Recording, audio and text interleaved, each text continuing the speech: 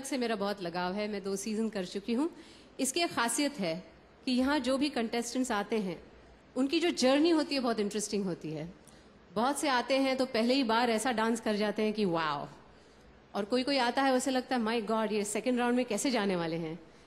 और वही आदमी by the end of it ऐसे डांस करता है कि it's amazing to see them तो मुझे लगता है जो जर्नी है उनकी, बहुत इंटरेस्टिंग है मेरे लिए। And that's why I love to be on this show देखिए, आगे तक जाने के लिए मुझे बहुत कुछ करना पड़ता है। शुरुआत हो गई है टांग टूटने से। अब धीरे धीरे और भी चीज़ें टूटेंगी। लेकिन एक्सपेक्टेशंस की जहाँ तक बात है, वो ये है कि आज तक लोगों के साथ साथ मैंने खुद भी अपने आप को सिर्फ़ भोजपुरी के चार ठुमके करते हुए देखे हैं। अब यहाँ स्टेज पर मैं अलग डांस फॉर्म भी करते हुए खुद को देखना चाहती हूँ।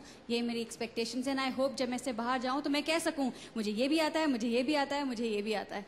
And I hope I want to take that मुझे भी शुरुआत में कुछ ऐसा भी लग रहा था कि हम गाना गाते हैं क्रेडिट उनको मिलता है, लेकिन जब उनकी काम देखते हैं स्क्रीन पर और जिस तरह से मेहनत करके उस गाने को वो पिक्चराइज करते हैं डांस करते हैं उस पर, फिर पता चलता है हमारी मेहनत हार्डली टेन परसेंट है उसकी।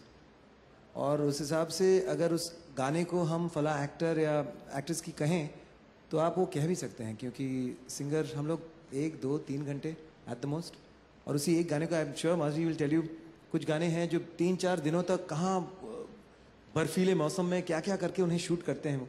तो I think they put a lot of hard work और अब जब एक एक गाने पर ही डांस करना पड़ रहा है, उसकी रिहर्सल चल रही है, मनीषा कल भी 12 बजे तक रिहर्सल चल रहा था इसी मंच पर, जो हालत हुई है। सो आई थिंक मैंने कोई अच्छी अच्छा काम किया होगा कि आसानी से मुझे सिंगिंग ये, ये काम गाना मुझे मिल गया गॉड गिफ्टेड वरना पता नहीं कितनी और मेहनत करनी पड़ती किसी और काम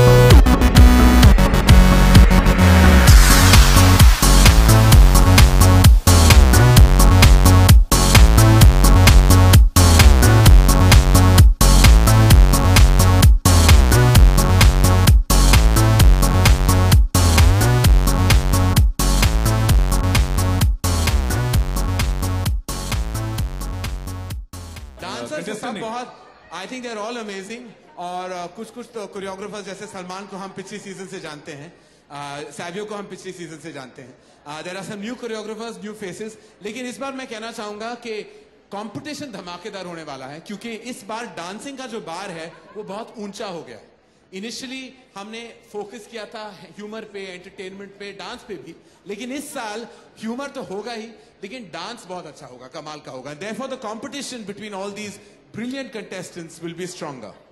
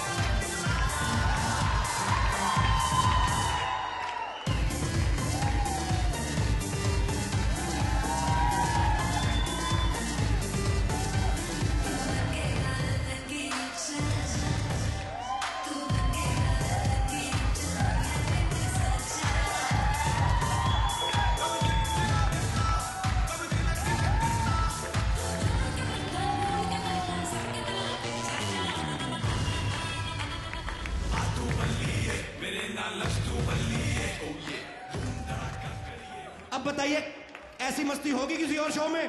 जोरदार तालियाँ झलक के लिए।